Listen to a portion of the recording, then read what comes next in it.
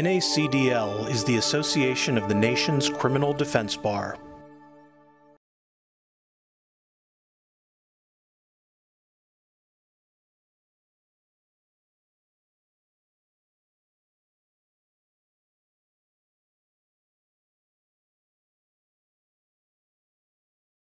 So, my, my talk today is on vehicle forensics, and I'm going to take you through the history a little bit of vehicle forensics. And when we talk about vehicle, vehicle forensics, I think the first thing people think about are black boxes. But um, I had the opportunity to um, approach an infotainment system specialist on a murder case that uh, myself and, and, my partners Tom Breen and Todd Pugh in Chicago uh, had a few years ago.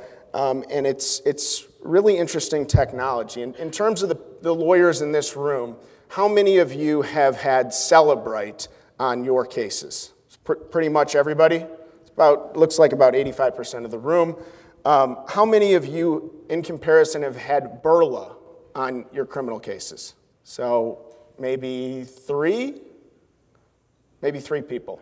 Um, Berla is it's the Cellebrite for vehicles and the infotainment systems in the vehicles. So, infotainment system different than the black box. If you're in the um, if you're in the actual vehicle, the black box is underneath the steering wheel, and the infotainment system is, is the computer screen that you see in the vehicle. They used to only be associated with luxury vehicles, but now more and more, um, every vehicle that is rolling off the production lot uh, has an infotainment system in it. And those are computers very much like the cell phones that we carry in our pockets and have been uh, a unique focus of Fourth Amendment law and of privacy law in the country. So uh, that's what my talk has to do with today, and I'll take you through a little bit of the history of what we can call, I guess, connected cars or smart cars and the timeline of that uh, the major components of,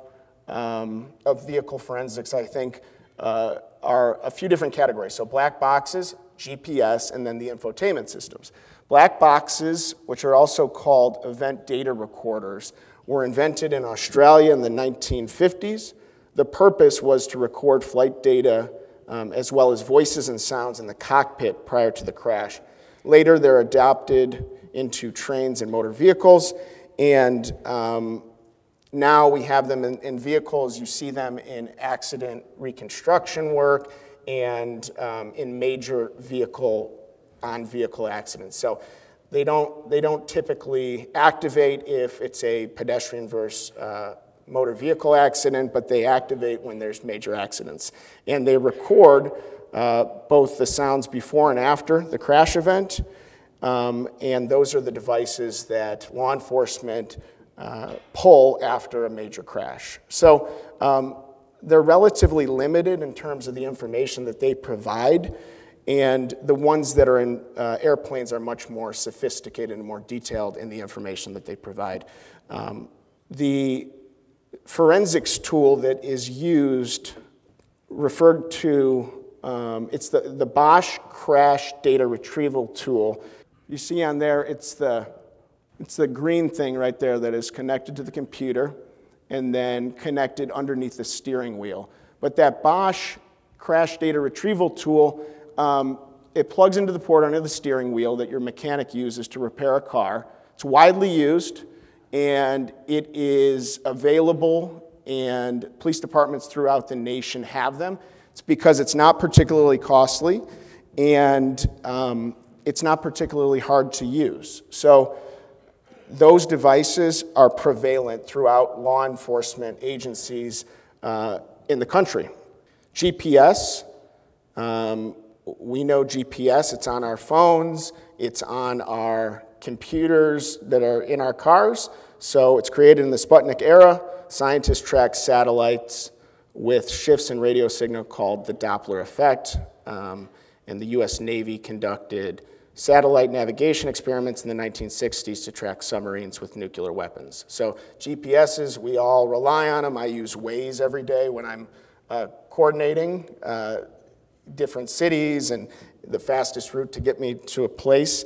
Um, so we rely on GPS a lot, and GPS has been an important component of some of the Fourth Amendment uh, law that the Supreme Court has dealt with in Jones, uh, and I think will be very important when uh, our courts and the Supreme Court approach the privacy and constitutional protections that people have uh, to the data that's in the infotainment system. Um, here is the kind of the chronology of smartphones in terms of what they look like and what they're able to do.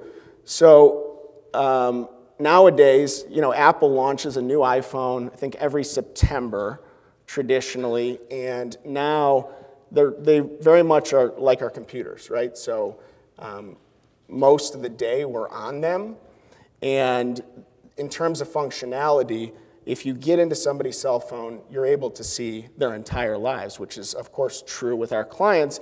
And in the last two trials that I've had, inclu including the Corey Morgan trial that I'll talk about, the data that was pulled off our client's cell phone became some of the most damning evidence in the case. So the ability of law enforcement to get into uh, your client's smartphone can be the difference between your client getting charged and not charged, released from the station uh, without charges, or it can be the difference between an acquittal and a conviction in a criminal case. They contain a great deal of information about, uh, about your client. This is what is uh, said to be the first smartphone, the IBM Simon Personal Communicator. Uh, it's said to be the first smartphone because it's got a touchscreen and it was able to, you're able to communicate over email and fax on that SPC device. Um, this is kind of the smartphone that we know now is the, the Apple iPhone. And if you look at your iPhone, um, there's going to be a ton of different data on there. So if you go into my iPhone, I probably have 90, 100 apps. If you go on there, you could access a lot of information about myself, my family, where I've been, and also a lot about my clients, right? So, because our, our phones are very much our, our mobile computers. So you can get into my Dropbox, you can get into my email, my text messages, my photos, my videos. And in, through this uh, window, you can map a person's life and know a lot about them political affiliation, medical data, biometrics, some of the more sensitive areas of uh, data. So that brings us to kind of a what I think is a distinction in the law about when courts approach uh, the search the searches of new devices in the digital era and I think a theme that has emerged from Jones and Riley and Carpenter is that digital information is fundamentally, it's categorically different than when we talk about physical items. Digital privacy, passcodes, and biometrics. Um, anybody that has a smartphone uh, is familiar with the different ways that we're able to safeguard our information. So um, in terms of uh, lawyers in this room, how, many of you have a passcode on your cell phone that is six digits or more? Okay. How many of you have a passcode that is 12 digits or more and it's alphanumeric? Okay. Um, so I, I, don't suggest this, but I, I, have a passcode on my phone that is 17 digits, it's alphanumeric. And I, I have that because in learning about this stuff, I found out through talks with Mike Price, at, who's at the Fourth Amendment Center for NACDL, and from talking to Lars Daniel at Envista, that that is what allows me to keep my data very close to safe. So when I first talked to Mike Price, I had a uh, compelled decryption case in Chicago, um, and we were ordered our client to give up his passcode. Search warrant had been issued, a reckless homicide investigation, pre-charging, search warrant issues. We politely decline to give up our passcode based on uh, the advice of his attorney. They go to court and they get a compulsion order. Okay, now you're compelled to give up your passcode. Um, in talking to Mike Price and fashioning a motion to ask the judge to uh, reverse that order. The, um, I said to Mike, well, I've got a, I've got a six digit passcode. How long will it take law enforcement to get into my phone? And he says, well, I think with a six digit passcode, and this was three years ago. So with a six digit passcode, it would take law enforcement 17 hours to get into your phone, less than a day. With a four digit passcode, those are kind of what is commonly thought of as the defaults in terms of the settings. So a lot of people don't know that you can go in, you can make your passcode longer. Four digit passcode, less than an hour. So, you know, there's a search warrant, they hook up the device to Cellebrite, and they can crack a phone with a four digit passcode within an hour. Six digit, uh, less than a day. So what I did was I went into my settings, which I didn't know I could do, and I, I did a 12-digit passcode, which was not terribly hard to do or frustrating like the one that I have now, because I already had a six-digit passcode, and I just did it twice. It's easy, right? So I felt pretty good about that. I felt like, you know, I'm ahead of the curve. I'm really protecting my data. And then I uh, at, at, the last NACDL meeting in Austin, I talked to Lars Daniel from Envista and I said, do you have, uh, you have Cellebrite? Yeah, we have Cellebrite. You, you got Berla? Yeah, we have Berla. I said, okay, well, I have a 12-digit passcode. How long will it take you to crack my phone? And Lars said, well, anywhere, he said, is it alphanumeric? And I said, no, it's not. And he said, well, anywhere from two hours to 30 years. And I was thinking, I thought that it was going to take over 100 years for them to get into my phone. You know, me, like most of our clients, not that I have anything to you know, worry about on my cell phone, other than like the most intimate details of my life and my clients' lives. Um, so I changed it to a 17-digit alphanumeric passcode, and that's where we are. But I, I, you know, it's frustrating, but I feel pretty good about it that I'm protecting my data from companies, law enforcement, and, or thieves. I mean, you know, these things do get stolen, and I, would, I don't want you know, to get broken into and all that data to be revealed to the world. Um, so that is, the, that is the, the advice that I give to my clients is that, oh, let me, let me ask one more thing. How many of you have biometrics in terms of a, a pass, you know, password protection? Thumbprint, facial, facial recognition as it, to get into your phone. Okay, so probably about 30%, 40% of the room. As we approach privacy and Fourth Amendment, Fifth Amendment protections, there's different cases that have, um, have grappled with these issues about the contents of your mind and what that means to produce that in a Fifth Amendment uh, context. And what has emerged is that biometrics have very little protection. So basically presenting my face or a thumbprint to, uh, to my phone or to law enforcement is it's similar to being presented uh, in a police lineup, right? There's, I, I, there's nothing that's constitutionally protected about that. Courts have differed on that, but what they've said, I think uniformly, is that if you have a passcode, that is reveals the contents of your mind. You have to go into the recesses of your mind to uh, know what your passcode is, and especially if it's like 17 digits and you're always messing it up.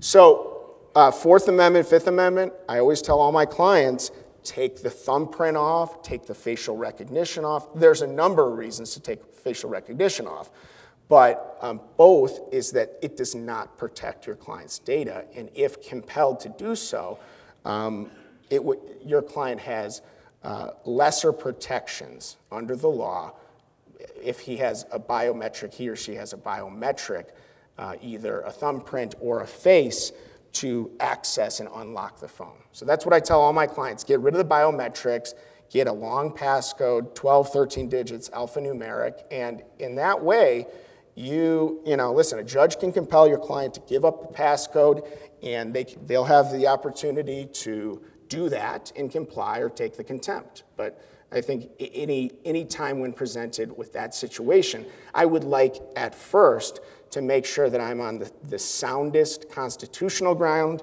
that I have, and then maybe take your contempt, and especially if there's something in the phone that may make the case against your client. So that's, that is the, uh, the advice that I give to all my clients and that I would, um, that I would share with you as well, because I think that it doesn't make a lot of sense, right? Like that that's a difference between a passcode and a thumbprint. But for some reason, the courts have made that distinction, and you know, we, we should be in front of that issue because the more and more law enforcement is moving towards dumping our clients' phones, getting that data and making that case based on the data that it provides. So that brings us to the infotainment systems. They're also called onboard systems. You see the, the how it looks externally there in the passenger compartment. So it's the screen in the middle of the vehicle. Just because uh, it'll tie in later. Did anybody rent a car when they came to Vegas for this trip? No? Okay. Uh, well, it'll tie in later, but basically, if you rent a car and you plug your phone in, it's uh, not advisable because of all the data that it sucks down. So the infotainment system, you can connect your phone with Bluetooth or USB. And here is the CEO of Berla, Ben LeMere, who trains law enforcement um, throughout the nation. They have a partnership with law enforcement, and they, um, they, they have a forensic toolkit that dumps all the data from the modules on the, uh, the computer, the infotainment system of vehicles. I think a lot of people right now who are listening to this are probably thinking, well, yeah, but I have to do something special for my car to download all that information, or I have to hook it up in a certain way. Yeah, so it's interesting. Um, if you, we use this scenario all the time in our training. You know, if you're you're on a flight, you fly in, you rent a car, and uh, you know your phone died, you're going to get in the car and you're going to plug it in and there's going to be this nice convenient USB port right there for you. Now, when you plug it into the USB port, it's going to charge your phone, absolutely, and as soon as it powers up, it's going to start sucking all your data down into the car. Um, there's one manufacturer in particular that will ask you, do you want to download your contact list? And of course, you know, being a rental car, you would say no, uh, and it honors that one thing, but it takes everything else that it can get its hands on.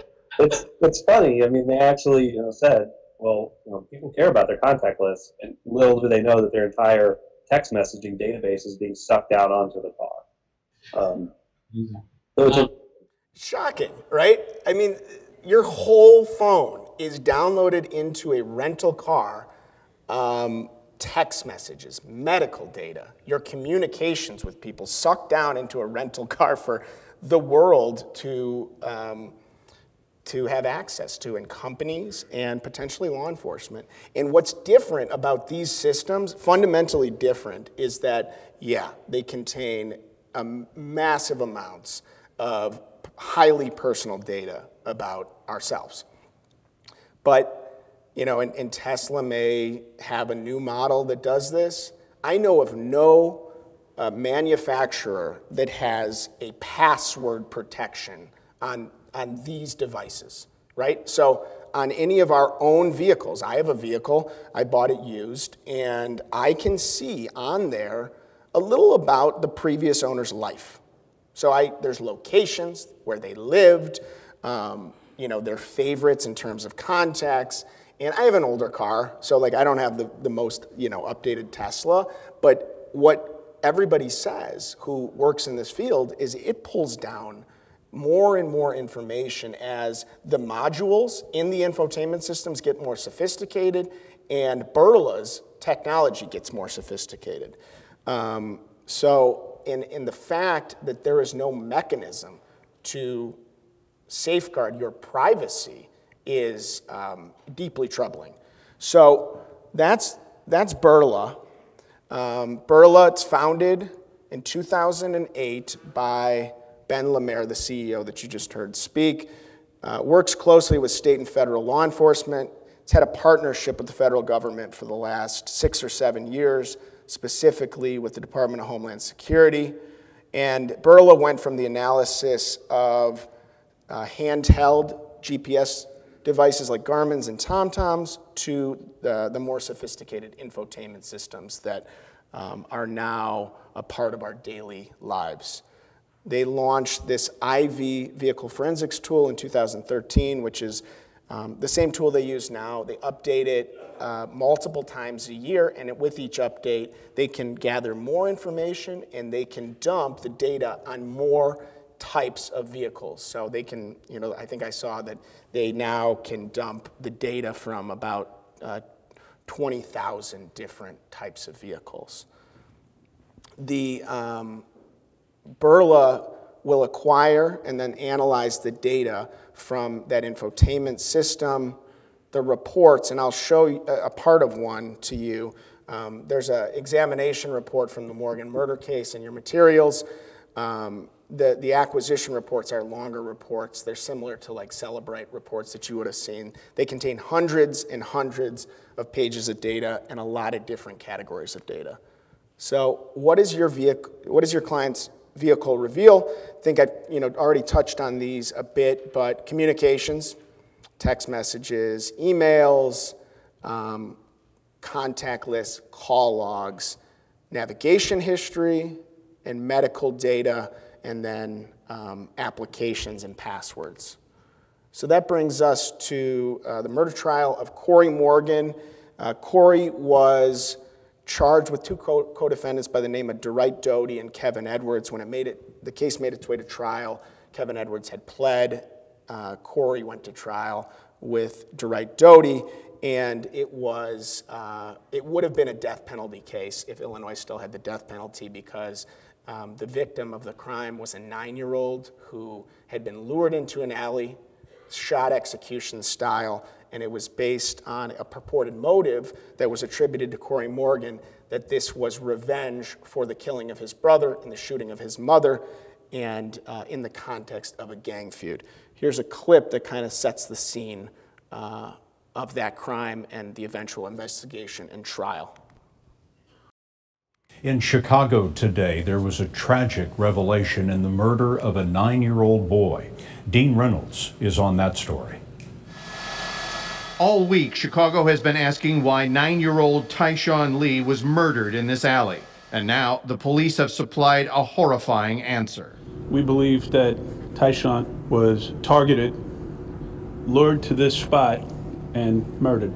Garry McCarthy is Chicago's police superintendent. Probably the most abhorrent, cowardly, unfathomable crime that I've witnessed in 35 years of policing.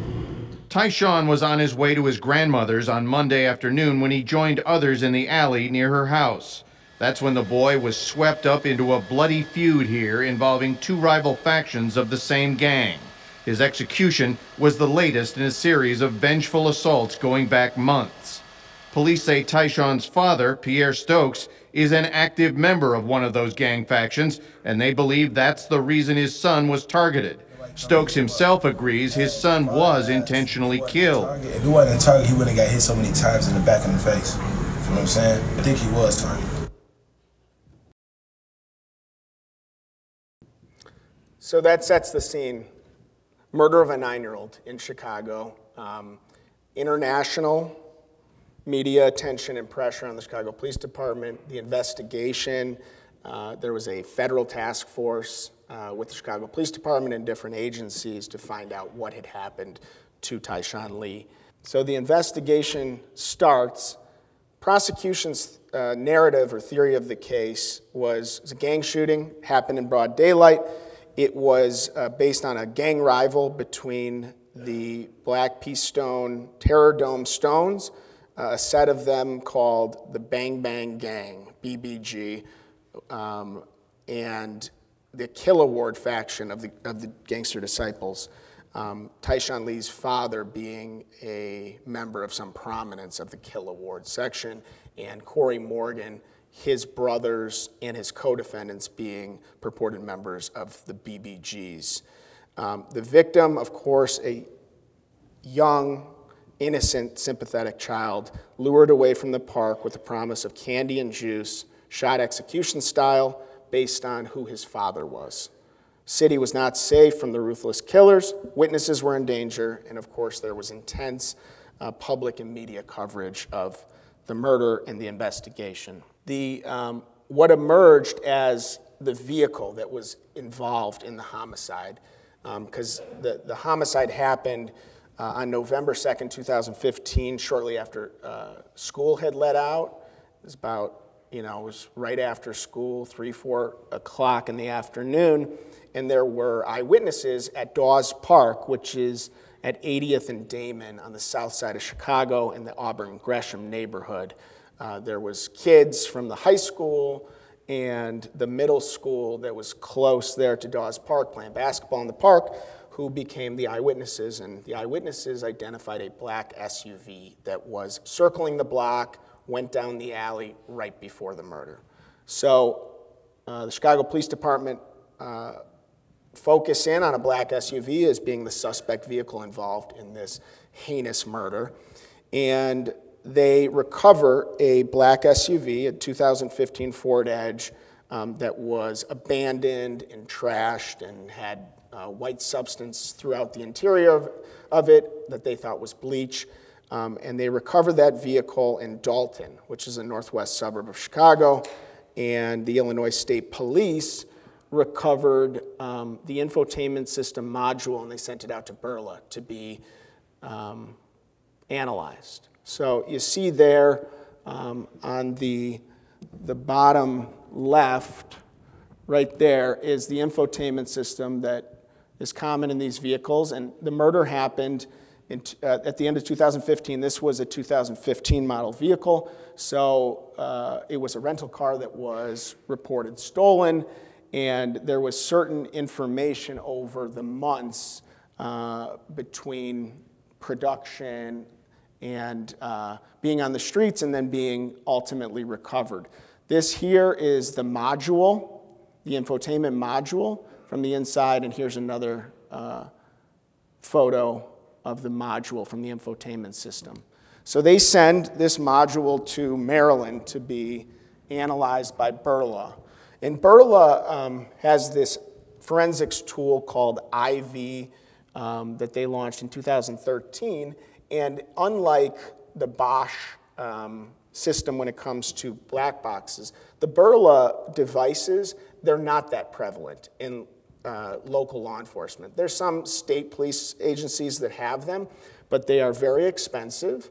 And the other thing is that there's just not that many people that are trained on, um, on how to use them. So as we approach these cases, I think proficiency of your local you know, because I, I think they will proliferate. We will see these in every major police department throughout uh, the nation, much like we do with Cellebrite uh, in the years coming. So proficiency of examiners and also the Fourth Amendment protections that our clients have to the data on their vehicles. Of course, in this case, it was a vehicle that was associated with a co-defendant. It was abandoned, so um, there was no Fourth Amendment challenge to the data that was recovered, and the data that was recovered was pretty precise and it was pretty convincing that was corroborated by other information, had the vehicle by Dawes Park, had the vehicle going to Lansing uh, later in the day, whereas uh, my client lived with his girlfriend and some of her family members.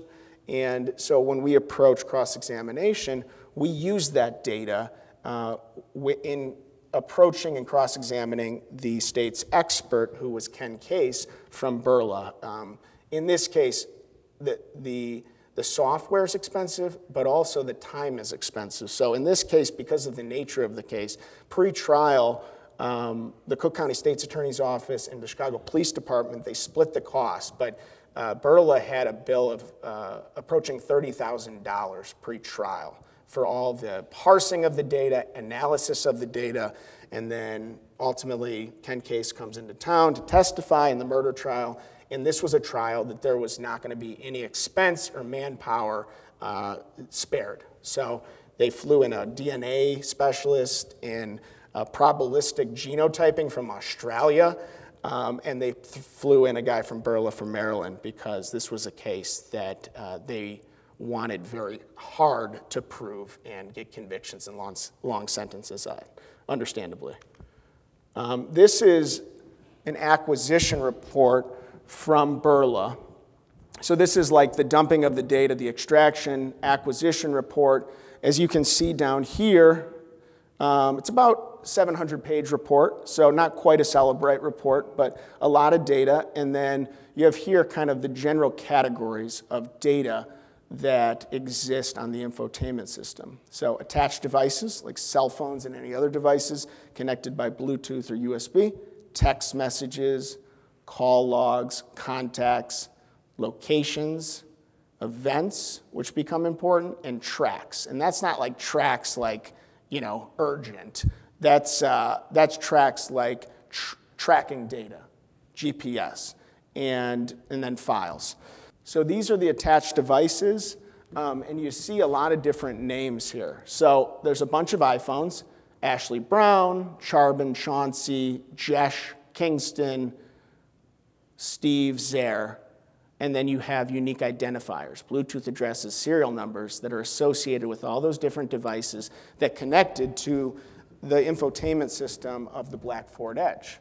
And you know, it was important to us that it didn't say Corey Morgan's iPhone. I mean, I think my iPhone would show up as like Jonathan's iPhone 2 or something like that, which is would be pretty good evidence, especially if Corey Morgan's iPhone is identified as Corey Morgan's iPhone. He's in that vehicle, and it connects to the vehicle, you know, during the time period that the murder happened.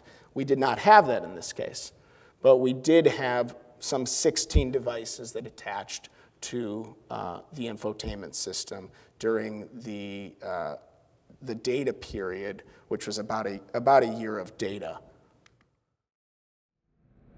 The CLE verification code for this program is A9A062. A9A062.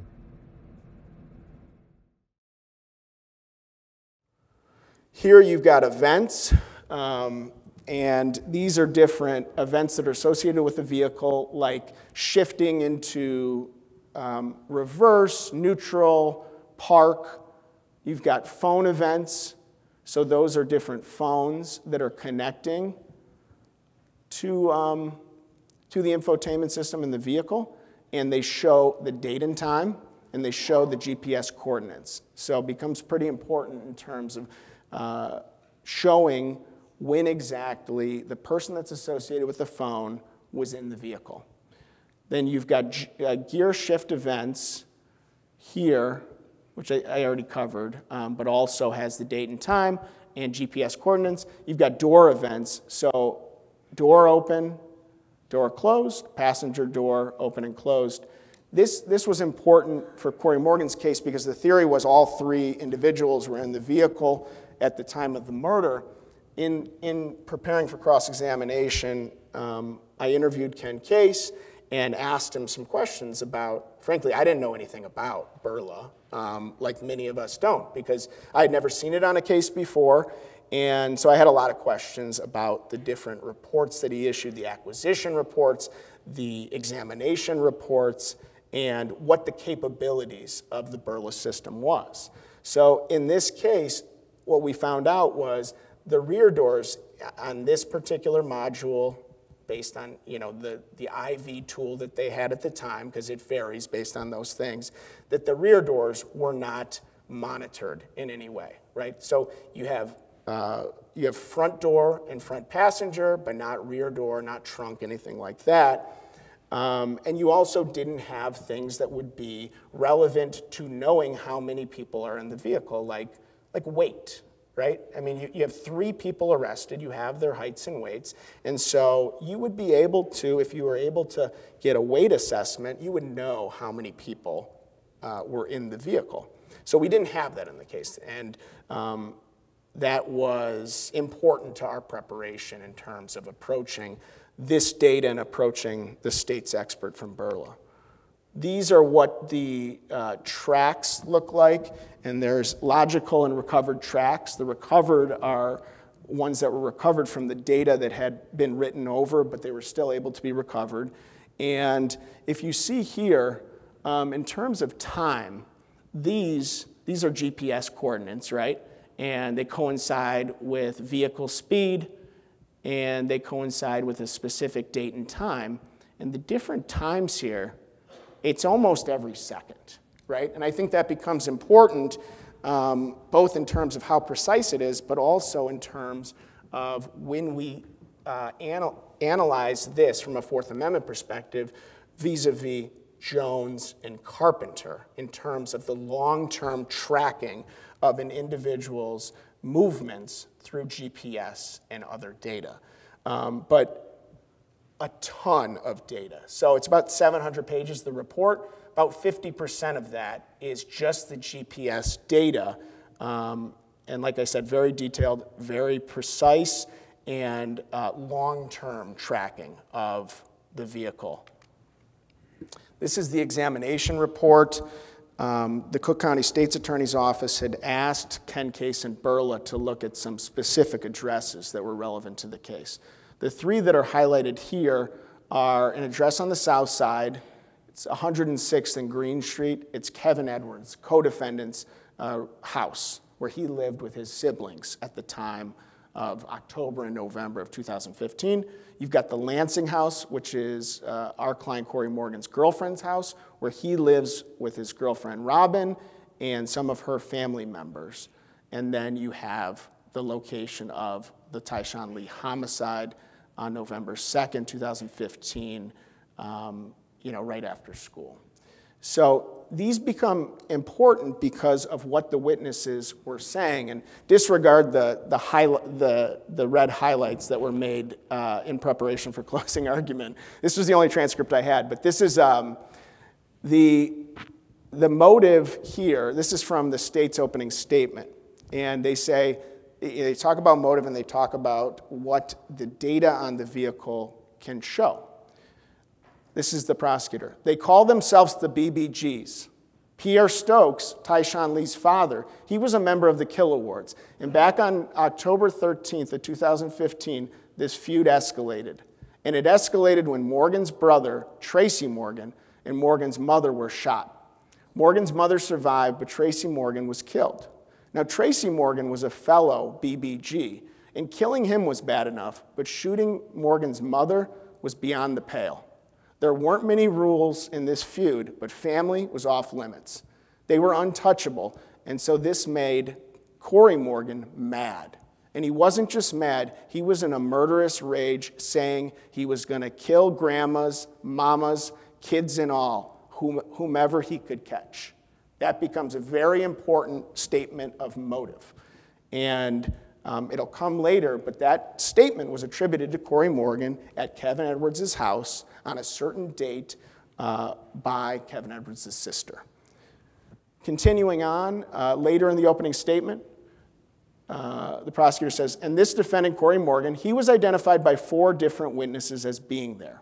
In that black SUV, it was later found abandoned in Dolton, Illinois, and it turns out that black SUV is a Ford Edge, the same Ford Edge that Kevin Edwards had been driving for about a month before Tyshawn's murder. And that Ford Edge has GPS and navigation capabilities. Now, GPS and navigation, they can get you where you need to go and they can tell you which direction to go, but they can also tell where you've been. And I'll give you one guess where that Ford Edge was on November 2nd, 2015. It was circling Tyshawn's house and it was parked near the mouth of that alley where Tyshawn Lee is ultimately killed.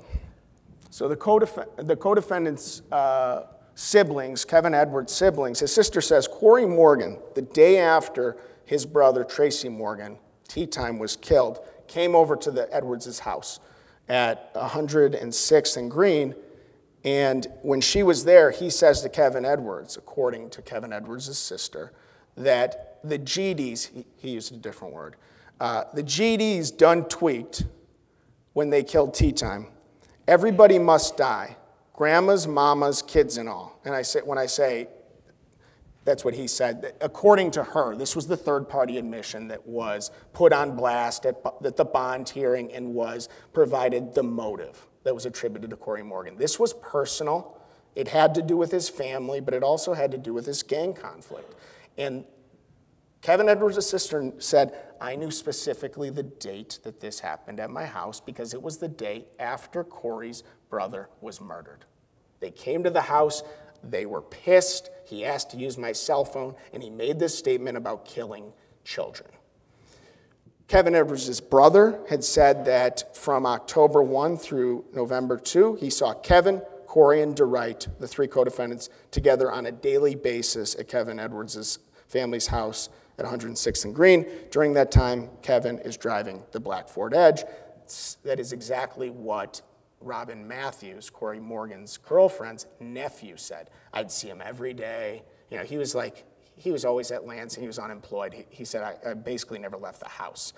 And they would come there, all three of them, every day. Black Ford Edge, every day for a month. So, what does the data show? Because Ken Case was asked very specifically look at these addresses. What does the data show for 106th and Green?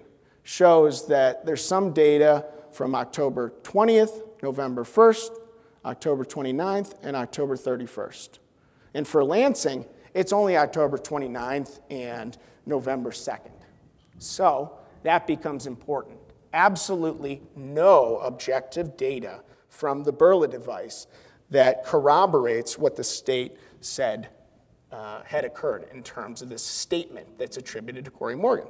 Same thing as to you know, how often these witnesses said they saw uh, all three together and at these different locations. So this is, and I'll take you through because I think I'm running short on time. This is the state's PowerPoint presentation from that they showed to the um, jury. It was important in, in the preparation. They tried to show me some slides in court of this thing. And I was like, can I get the PowerPoint presentation? And it had all of Ken Case's notes in there and everything. And so eh, the, the cross evolved, but you know, there was a ton of information to, to mine um, from this device. So here's the PowerPoint presentation. The vehicle is at uh, Old Farm Road in Lansing, Robin Matthews' house where Corey Morgan lives, at about 2 o'clock, a little before. And then it maps uh, where it goes. It Goes to a gas station up the street. There's video from there with Kevin Edwards on it, right? So it's showing the data is corroborating what we know to be true. No data. So there's no data for this period. And it's not because it was destroyed or anything like that. It had just been probably written over. So when it picks back up, we are by Dawes Park. And the black Ford Edge is going around. And there was also an address in there that was an address that was attributed to Corey Morgan's family, which I thought was particularly interesting because, you know, if, if he had gotten into the vehicle, if the jury thought he had gotten into the vehicle, it's, it's possible that he was dropped off over there. He certainly wasn't going to some place that he, you know, never went and they went there to do this execution. So this is the vehicle's movements. The X is where the murder happened in the, in the alley there. And it's got recovered tracks. It's showing the different movements, the different uh, events, shifts into reverse, shifts into parks, Vehicle remains, passenger door closed, driver door open, USB device attached. And this is said to corroborate what the witnesses, the eyewitnesses, were saying occurred. Then there's no data, it picks back up around a little before 4 o'clock, and the vehicle's going around the neighborhood. And ultimately, arrives back at Dawes Park, up there in the, in the top left. And then parks at Dawes Park around the time that Tyshawn Lee was there playing basketball on the, the playground. Different vehicle events, driver door open, closed, passenger, passenger door opened, closed, no data, and then the vehicle picks up going back to Lansing, where Corey Morgan lives with his girlfriend and his girlfriend's uh, family members, including the nephew that testified against him. Bunch of different um, vehicle events at the Lansing house, consistent with people getting out of the vehicle. Going back to the gas station, video of Kevin Edwards on the, on the gas station video, different vehicle events, and then no data, and then the vehicle data picks back up vehicles in Dolton. Last known position of the vehicles recorded in Dolton. So that's a trial. Um, in, in preparation for the cross of Ken Case, it was important to emphasize the amount of data that was available to him and law enforcement. So, you know, I had all the acquisition reports there to show the jury just how much data we were talking about. I said, you, you know, he had done three different parsings of the data. He actually told me on the phone call that he did another one that the state didn't even know about with a new tool to just make sure that it was consistent and if there was anything else. But his findings were consistent, and that was important to show that the data is precise. because we, we accept what we can't really refute, but we use the data to show the witnesses, um, you know, they were not telling the truth about what they said Corey Morgan had said and what they said about that black Ford Edge being there every day. So they were gilding the lily. So what happened to Corey Morgan? Three week trial. Um, my partner Todd Pugh gave a brilliant closing argument. Um, the jury deliberated for about six, seven hours until nine o'clock at night. The judge locked up the jury, took away their cell phones, sent them on a bus uh, by escort of the sheriff's deputies. We found out this, some of this later, and they were put up at a hotel on the southwest side of Chicago. Not quite the Four Seasons. Um, and they come back the next day, they deliberate through lunch, and ultimately, Corey Morgan, as you all know in this room as, as defenders, becomes a victim of the trial penalty. So, um, judge ultimately sentences him to uh, 65 years. In Illinois, murder time is done at 100% um, for any murders nowadays it, after 1998, uh, 1998. The offer pretrial was 25 years. It was nothing, despite anybody talking to uh, Corey, nothing that he was ever going to plead guilty or accept. Um, so that was rejected on the record, understood the consequences and the exposure of going to trial, that if he was convicted, it would be and was a de facto life sentence. What the future holds um, for these infotainment systems, I'm running kind of short on time, so I'll be quick with this. But Fourth Amendment, and I'd invite all of you guys to come to Chicago next month. The Fourth Amendment Center is doing a two day free CLE um, on May 16th and the 17th at the Sofitel. It's going to be excellent. Um, and I'm going to talk a little bit more about the Fourth Amendment in the context of the infotainment systems. But basically, um, there's a professor from William and Mary that has written this. Uh, it's a working paper, it's not published yet, but he takes the position that his theory is that courts will likely uphold warrantless searches of smart ca- cars based on the automobile exception. He does not think that Riley, Jones, Carpenter will be extended to these smart cars. And there's a few different reasons why he says that. Smart cars hold less information. Uh, a lot of the vehicle information is already avail- visible and available to the public. Cars are heavily regulated and receive less privacy protection. And police cannot use Faraday bags or tinfoil or airplane mode for vehicles in the automobile exception. It's not automatic like a search incident to arrest. It's based on probable cause. And that based on this, um, how slow the Supreme Court moves, that Congress and state legislatures should amend privacy statutes to require police to obtain warrants. My experience in Chicago, they generally obtain warrants for this type of information. My theory, Dershowitz is wrong.